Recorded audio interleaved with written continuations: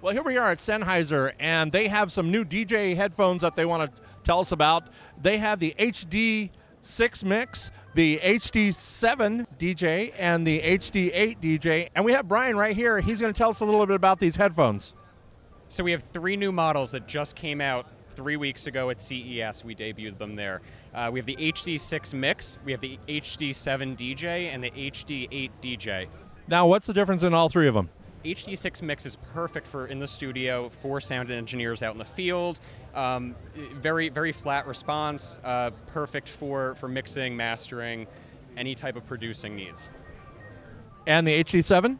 HD7 powerful bass, perfect for uh, on stage performing. A very rugged build, rugged construction.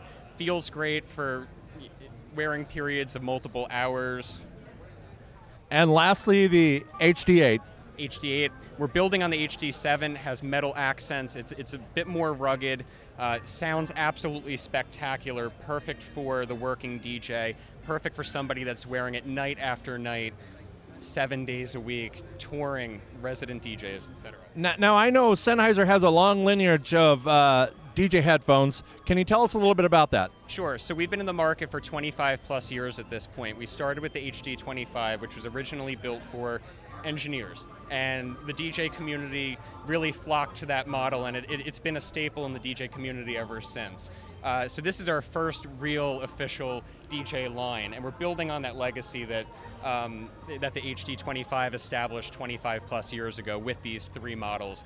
One of them for for mixing and mastering and producing, and the other two for performance and touring DJs. So as usual, back then DJs took an uh, product that was out there for another purpose. They repurposed it for themselves and called it their own. Right. But now the company that put that product out has come out with something just for DJs.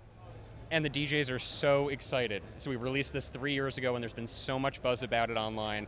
We've had so many emails come through, so many tweets, so many Facebook messages. Everybody wants to try them. Everybody wants to get their hands on them. Product's going to hit the store shelves in about a month, and we're we're super excited for it. Couldn't be happier. Thank you very much, Brian.